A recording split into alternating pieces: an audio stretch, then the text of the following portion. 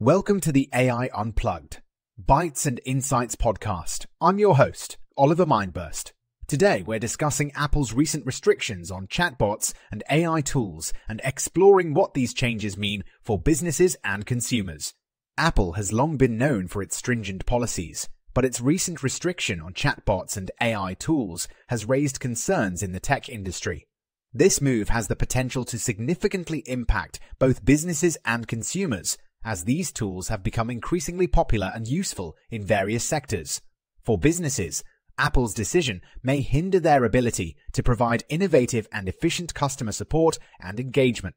Many companies have adopted chatbots and AI tools to streamline their customer service processes, allowing customers to interact with the brand more easily and receive quick, accurate responses to their inquiries.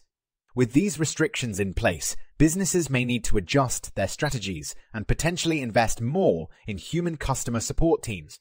On the consumer side, Apple's decision could lead to less seamless interactions with brands as chatbots and AI tools have become an integral part of many customer experiences.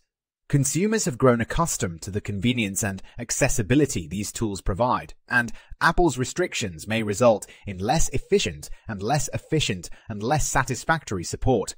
One potential outcome of these restrictions is the further development of alternative platforms and technologies.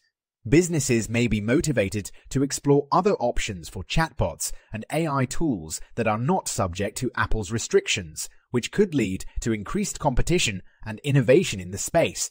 However, it's essential to recognize that Apple's restrictions are not entirely without merit. The company has cited concerns about user privacy and data security as reasons for implementing these new guidelines. As AI technology becomes more advanced and prevalent, it's crucial to ensure that user information is protected and that ethical guidelines are in place. In conclusion, Apple's restrictions on chatbots and AI tools present both challenges and opportunities for businesses and consumers.